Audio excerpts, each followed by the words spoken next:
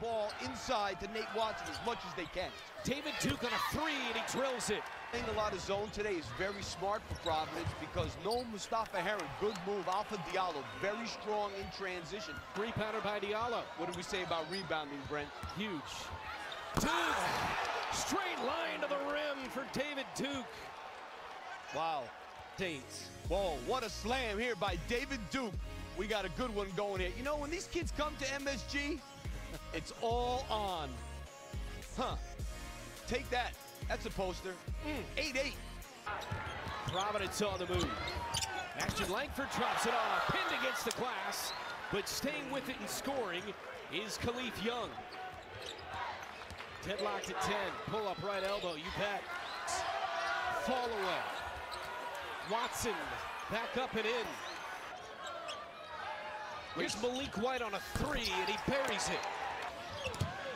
Knocked away and a steal. White, numbers four on two, and a finish for David Duke. Great job defensively. Front the post. Diallo back down, pinned against the glass by. Its other end, reverse lane wouldn't go.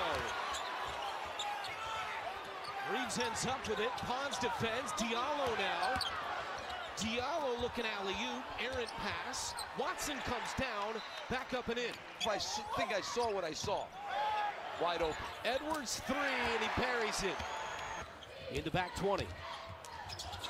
Tough lay-in goes down for David Duke to begin the second half. Three on the wing is in for Isaiah Jackson. Plus 12 on the glass for Providence. And Kalif Young able to cash in. Floor picked up by Alpha Diallo. Swinging across. AJ you bet. The Red Storm off their best win of the season earlier this week against number 10 Marquette. Diallo, the spin and the score.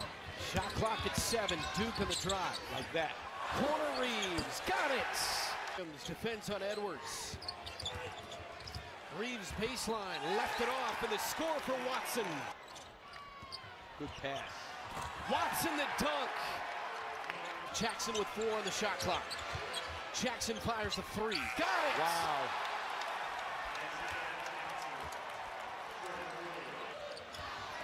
Watson in the lane, rolls it home, and it's a 14 point lead with 125 left.